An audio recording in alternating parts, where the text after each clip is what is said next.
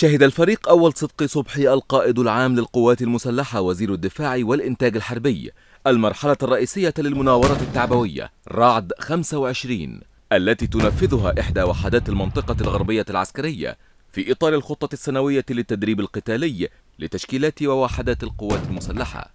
وقد تضمنت المرحلة الرئيسية إدارة أعمال قتال وتطهير منطقة حدودية من العناصر الإرهابية وتأمينها. وذلك بعد رفع درجات الاستعداد القتالي وتنفيذ إجراءات التحضير للمعركة والقيام بأعمال الإخفاء والتمويه وتحت ستر وسائل وأسلحة الدفاع الجوي. وبمساندة المدفعية لتدمير الاحتياطيات وإرباك وتدمير مراكز المقاومة للعناصر الإرهابية مع قيام عناصر العمل المعنوي بتوجيه نداءات وإسقاط منشورات صداقة للسكان المحليين لطمأنتهم وإجبار الإرهابيين على الاستسلام وتسليم المدينة. وقامت العناصر المدرعة والمشاة الميكانيكي مدعومة بالوحدات الخاصة من الصاعقة والمظلات بتطوير الهجوم والاشتباك مع العناصر الإرهابية المرتدة وتدميرها بمعاونة الهليكوبتر المسلح وعناصر المقذوفات الموجهة المضادة للدبابات لتصفية العناصر الإرهابية والسيطرة على المدينة وتأمينها. ظهر خلال المشروع التعاون الوثيق لتحقيق مبادئ معركة الأسلحة المشتركة الحديثة والسرعة والدقة في التعامل مع العناصر الإرهابية وإصابتها من الثبات والحركة وما وصلت إليه العناصر المشاركة من مهارات ميدانية وقتالية عالية وقدرة على استخدام الأسلحة والمعدات وسرعة تنفيذ المهام القتالية والنيرانية في الوقت والمكان المحددين بدقة وكفاءة عالية وتقديم الدعم الطبي والإداري للسكان المحليين.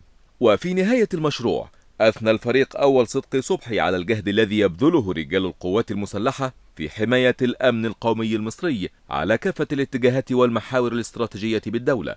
بشكر سيد قائد المنطقة الغربية وبشكر قوات المنطقة الغربية بالكامل حماة الغرب القادرين بإذن الله على حماية الاتجاه الاستراتيجي الغربي. تأمين كافي يمنع أي مخلوق بيفكر إن هو يقرب من الاتجاه الغربي أو اتجاه حدود مصر الغربية. بشكر كل قوات المنطقة الغربية العسكرية اللي ساهمت اللي اشتركت واللي ساهمت في التدريب أو في التجهيز أو في الإعداد أو في التخطيط أو في الإشراف والمتابعة عشان يطلع قدامنا المنظر اللي إحنا شفناه النهارده بالشكل العالي جدا في الاحترافية في الأداء. بنأمل من ربنا سبحانه وتعالى تحت القيادة السياسية العظيمة ومؤسسات الدولة اللي بتبذل أقصى طاقة عندها وواقف جيشها وشرطتها وراهم وقوف محدش يتخيله إلى أن نحقق كل المشروعات المخططة اللي على المستوى القريب وعلى المستوى البعيد اللي إن شاء الله رب العالمين هتتحقق دون أدنى شك لأن هناك إرادة وعزيمة وهناك تخطيط وفكر جيد جدا ورؤية عميقة جدا. إن شاء الله رب العالمين السنة الجاية نحتفل بكل هذه الاحتفالات اللي بنحتفل بيها وتكون إن شاء الله رب العالمين مصر في أحسن حال. كما ناقش القائد العام بعض الضباط من دارس الكليات والمعاهد العسكرية في أسلوب تخطيط وإدارة المشروع واستمع إلى عدد من الأسئلة والاستفسارات والتي أجاب عليها قائد المنطقة الغربية العسكرية.